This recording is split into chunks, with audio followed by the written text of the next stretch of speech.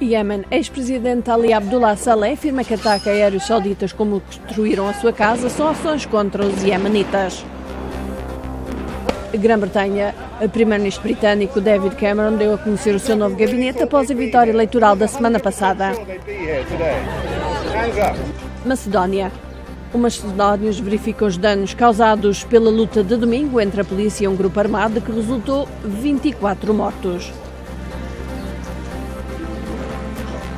Nepal, mais duas semanas após o destruidor tremor de terra, os nepaleses mostram-se frustrados com a lenta resposta por parte do governo.